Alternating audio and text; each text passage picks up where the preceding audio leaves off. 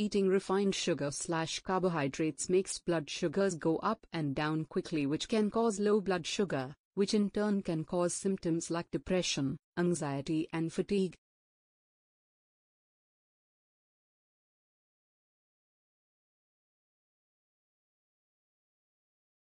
To ensure that your nerves and neurotransmitters stay healthy, increase consumption of omega-3 oils found in salmon, cod, sardines, walnuts, pumpkin seed and flax.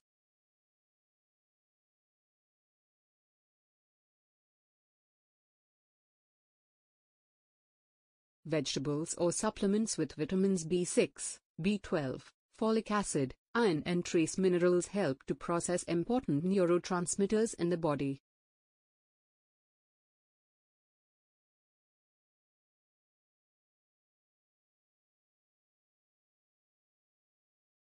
Herbs such as St. John's wort are known for their positive impact on serotonin levels in the brain. Herbs such as St. John's wort are known for their positive impact on serotonin levels in the brain. Alcohol is a depressant. Caffeine is a stimulant, but has been linked to depression, especially when combined with sugar. Susan Chapman, registered dietitian at Piedmont Atlanta Hospital, says eating healthier is crucial to maintaining a healthy mood. One of the best habits you can start is eating a meal within an hour of waking up, then eating one every 4 to 5 hours while awake, Chapman says.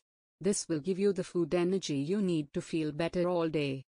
Regular exercise increases the body's natural endorphins, which can make you feel better. Interacting with pets can make us feel loved and needed. Of course, these are only tips to get you on the right track. If you think you might have a serious mental health problem, contact a medical professional right away.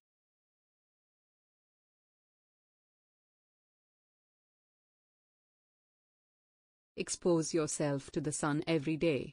Open blinds and curtains to let the sun shine through your windows. Turn on some upbeat music, then dance to the beat and sing along.